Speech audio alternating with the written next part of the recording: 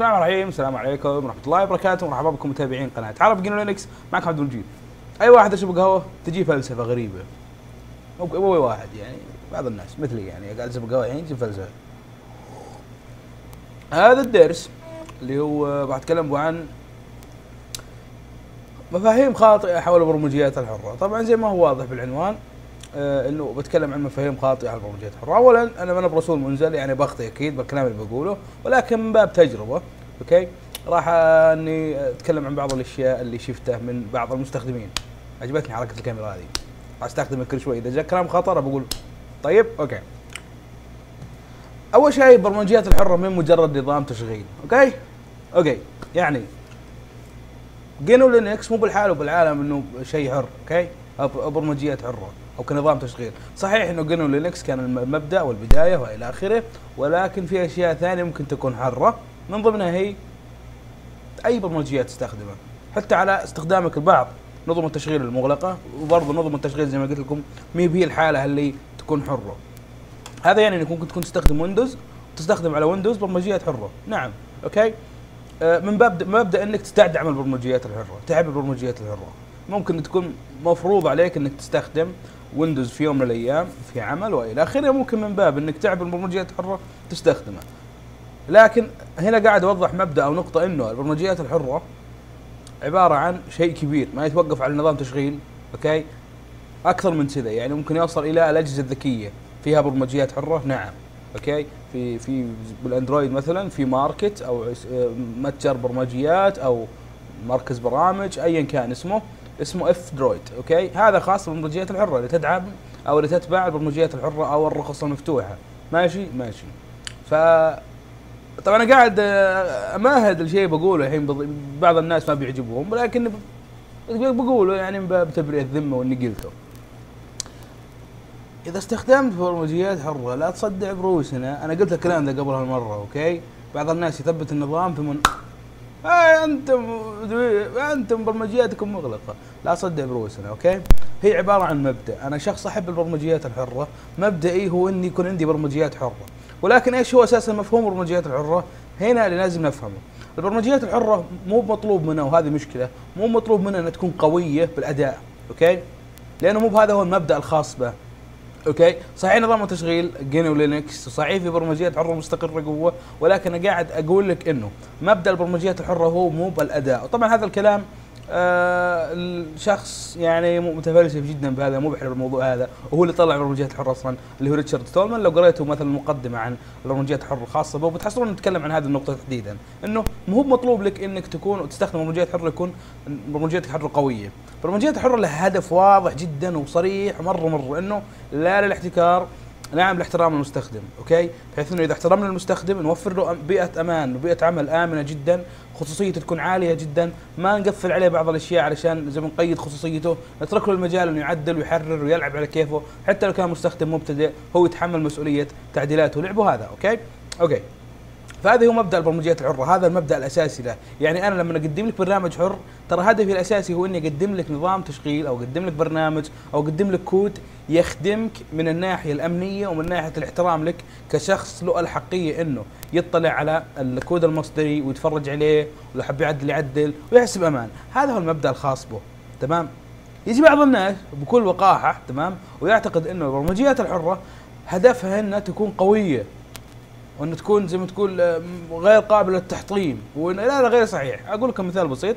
مع إنه برمجيات الحره ما له علاقة به بنتكلم عن المصادر المفتوحة ولكن ولا أعرف أساسا عن صحة الخبر هذا ولا أدري هل هو صحيح ولا مجرد إشاعة لأنه راج كثير. اللي هو الثغرة اللي كانت بالاوبن إس إس إل أوكي؟ الأوبن إس إس إل صابت ثغرة اسمها Heartbleed okay؟ في تقنية معينة تستخدم بال OpenSSL اسمها Heartbeat okay؟ ال Heartbeat هذه اصابت ثغرة سموها ال Heartbleed. 60% من تشفير الإنترنت. هو 60% والله يبحث عن الرقم أعتقد 60% أو 30% ترى متأكد لكنه أعتقد إنه 60% يعتمد على الأوبن اس إس إل أوكي؟ الأوبن اس إس إل عبارة عن تقنية مفتوحة لكن مو بحره okay؟ ترى فرق بين مفتوح وحر وهذا هو السبب اللي وقعوه به الناس إنه يخلطون ما بين البرمجيات الحرة والمفتوحة، okay؟ خلينا نفترض إنها برمجية حرة، صار فيها ثغرة تضرروا عالم كثيرين، وناس قامت على البرمجيات الحرة وسوت كلام البرمجيات الحره كيف تصير كذا وكيف شركات تعتمد على البرمجيات الحره وهي ضعيفة بالشكل، يا حبيبي زي ما قلت لك البرمجيات الحره هدفها هي احترامك okay؟ أحسن من أقدم لك تقنية واقول لك هذه تشفر لك وأنا قاعد آخذ منك أقدم لك تقنية مفتوحة إذا أنت اكتشفت إن فيها خطأ تصلح لي الخطأ okay؟ okay. طبعا تعاملوا مع هذه المشكلة أعتقد وما أدري صار معهم ولكن الإشكالية اللي صارت إنه في خلط ما بين مفهوم البرمجيات الحره ومفتوحة المصدر. المفتوحة المصدر ممكن إنها تخلط معها أشياء شو اسمه مغلقة. okay؟ أه تكلمت مع أحد المبرمجين okay؟ العرب طبعا وله زي ما تقول باع كبير بهذا الموضوع. أه وقال لي إنه التقنية اللي استخدموها اللي فيها ال Heartbeat عبارة عن كود فيه إشكالية أو فيه لبس وكان مشفر أو كان طبعا الكلام هذا حتى موجود بالنواة حقت لينكس نفسها. النواة نفسها فيها حاجات مغلقة. عشان كذا عندنا نواة ثانية اسمها نواة Linux Libre منظفة مغسولة يعني شعارها بطريق أزرق. مغسول okay؟ okay. خلصنا من هذه النقطة. خلاصة النقطة اللي راحت إنه البرمجيات الحرة هدفها انها تقدم لك شيء يخدمك okay؟ كمستخدم بقدر الإمكان إنها تح- تحافظ على خصوصيتك ومبدأ حريتك okay؟ بس. والله طلعت البرمجيات قوية وطلع عندنا نظام زي GNU Linux ضخم وكبير وتمام وشغل يعني كمبيوترات بشكل رهيب وشغل أيضا أجهزة جوالات تشتغل على نواه لينكس زي الأندرويد ويمكن حاجات كثيرة بتطلع بعدين. الحمد لله يعني طلع زين ما قلنا شيء. لكن لما يصير بو شيء لا ترجع لما يوه مفتوح ومتروك للمستخدمين. هذا هو مبدؤه okay؟ okay. هذه الفكرة الأولى. الفكرة الثانية هي إنه في ناس بصراحه نشوفهم كثير. واحد منهم قابلته مرة في إحدى الاجتماعات الخاصة بالتقنية. قال لي أهم شيء عندنا solution طبعا هو مسوي إنجليزي الحين بقول solution عندي solution تمام؟ إنه هل البرمجيات الحره بتقدم لي solution ولا ما تقدم لي solution وإن الناس صارت ما تستخدم الكمبيوتر الحين. الناس انتقلت على الأجهزة الذكية اللي هي ال- ال tablet و smart phones وإلى آخره. okay؟ okay. الناس اللي انتقلت الأجهزة هذه هل هي ناس أساسا كانت تستخدم الكمبيوتر علشان الكمبيوتر ولا كانت تستخدم الكمبيوتر علشان توصل للشبكات الاجتماعية واليوتيوب والخرابيط هذه؟ هذا هو السؤال. طيب. نجي هنا المبدأ ال- ال- أو فكرة قناة عرب GNU Linux okay؟ بعض الناس يسأل هذا السؤال يقول لك انت فاتح قناة تتكلم عن شيء الناس تركوه، قاعد تتكلم عن الكمبيوتر، الكمبيوتر ما عاد تستخدمه الحين، هي أنا قاعد أستخدم الكمبيوتر، في ناس كثير تستخدم الكمبيوتر، وإحنا نحب الكمبيوتر، ما راح نترك الكمبيوتر، okay؟ في ناس تركت الكمبيوتر كثير والحمد لله انهم تركت الكمبيوتر هذا كانوا مسبين لنا مشكلة فرمت لي جهازي جهازي خربت فرمت هو تركب لي برنامج. okay هذول الناس الحمد لله انقطعوا okay؟ وصاروا ينتقلون على أجهزة تناسبهم أكثر سهلة جدا والتعامل معها بسيط اللي هي الأجهزة الذكية. الناس اللي انتقلت الأجهزة الذكية عبارة عن ناس غير مهتمة أصلا بمبدأ ال- الحوسبة عن بكرة أبيه، كان يستخدم لابتوب أو كان يستخدم كمبيوتر مكتبي عشان يمسك الماوس يمكن تحطه بعد الجوجل بالصفحة الرئيسية ولا ما يعرف يطلع لك إياه ترى؟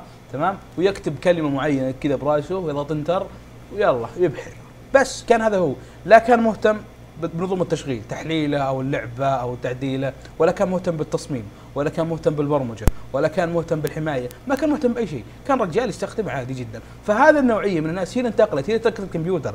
ولكن باقي ناس كثيرة تمام من المهتمين حتى من الناس اللي تو جاي الكمبيوتر حبت مبدأ الكمبيوتر أكثر من الأجهزة الذكية. طبعا طلع لنا جيل جديد كلب هذا ما يعرف.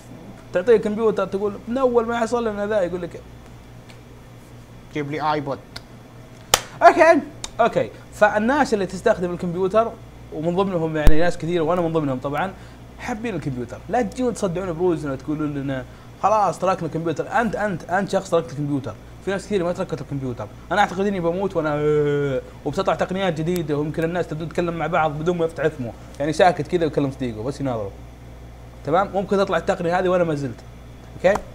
آه تقريبا هذه أكثر حاجة مسويت لي قلق اللي هي الناس اللي تقول لي إنه البرمجيات الحرة خلاص ما لها داعي، البرمجيات الحرة ما توقفت على الكمبيوتر يثبت عليه النظام، البرمجيات الحرة كبيرة جدا، أتمنى إنكم تشغلون هذا شوي.